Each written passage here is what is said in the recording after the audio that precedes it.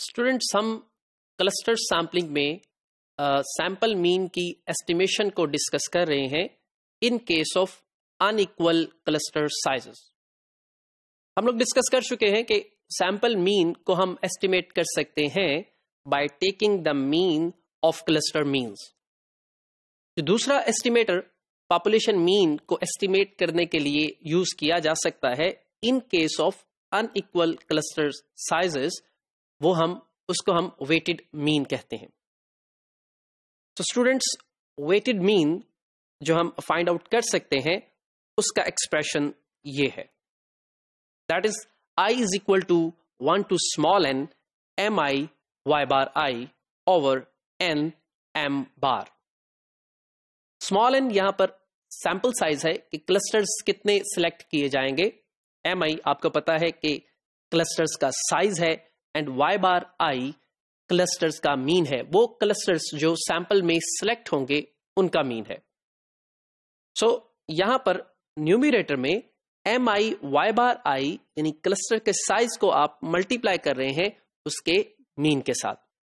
और फिर इसको ओवरऑल क्लस्टर्स जो सिलेक्ट हुए हैं सैंपल पे उन पर सम कर रहे हैं। And then you are dividing it with small n into m bar m bar is equal to this term, that is m prime over capital N. Please note that m prime जो है, यहाँ पर ये clusters का sum है. I is equal to one to capital N m i यानी सारे clusters के साइजेस को सम कर लें और फिर उसको कैपिटल एन यानी जितने क्लस्टर्स हैं, उन पर डिवाइड कर लें तो एम बार आपके पास आ जाएगा। उसको यहाँ पर यूटिलाइज करेंगे सो हम वेटेड मीन इससे ले सकते हैं।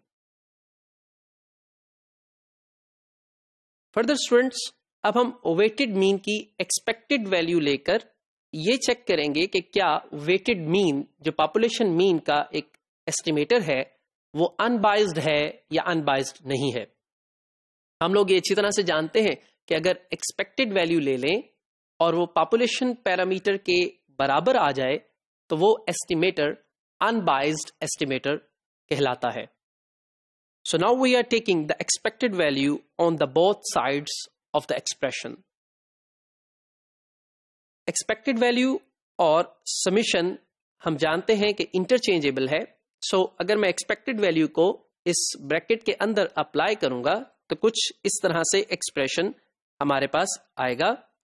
One over small n m bar को मैं अलग से लिख लेता हूँ और उसके बाद मैं एक्सपेक्टेड वैल्यू को अप्लाई करता हूँ और ज़ाहिर है मेरे पास समीशन की टर्म भी है।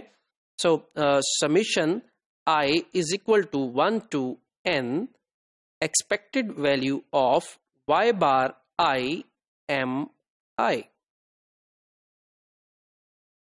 इस टर्म पे अगर आप फर्दर थोड़ा सा सिंप्लीफाई करें तो आप देखेंगे कि ये समीशन expected वैल्यू पर अप्लाई हो रहा है and expected value is a constant so summation will become small n so we can write it like this, n over n m bar okay? और इस समीशन को अगर आप ओपन करेंगे तो summation will open like this sorry I mean expected value को जब आप ओपन करेंगे तो ये एक्सपेक्टेड वैल्यू को आप ओपन करेंगे sum of i is equal to one to capital n m i y bar i या Y bar I am i एक ही बात है इसको हम लिख सकते हैं इस तरह से।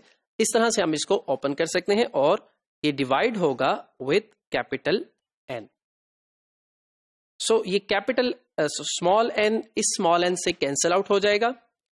ये वाला जो हिस्सा है एम uh, बार आपने अभी हमने डिस्कस किया है कि इसको हम लिख सकते हैं m prime over capital n so ये इस कैपिटल एन के साथ कैंसिल आउट होने के बाद जो टर्म आएगी that will be i is equal to one to capital n m i y bar i over m prime ये टर्म हमारे पास बाकी आ जाएगी। M prime is actually sum of m i अभी मैं आपको इससे पहली स्लाइड पर ये बता चुका हूँ। सो फर्दर स्टूडेंट्स ये जो वाई बार आई है ये हम जानते हैं कि ये क्लस्टर मीन है। इसको हम ओपन अगर कर लें तो हम इस एक्सप्रेशन को कुछ इस तरह से लिख सकते हैं। I is equal to one to capital n sum of j is equal to one to m i y i j divided by sum of all the clusters that is m prime. This will become the overall population mean जिसको हम y double बार से represent करते रहे हैं। So that's mean weighted mean कि जब expected value लेते हैं तो वो पॉपुलेशन पैरामीटर के इक्वल आ जाती है। सो so, हम कह सकते हैं कि वेटेड मीन पॉपुलेशन मीन का एक अनबाइस्ड एस्टिमेटर है। स्टूडेंट्स फर्दर इसके वेरिएंस एक्सप्रेशन के लिए हम उसी तरह चलेंगे जिस तरह हम पहले चलते रहे हैं। वेरिएंस दोनों तरफ़ अप्लाई कर लें और इसको हम इस तरह से ओपन कर सकते हैं।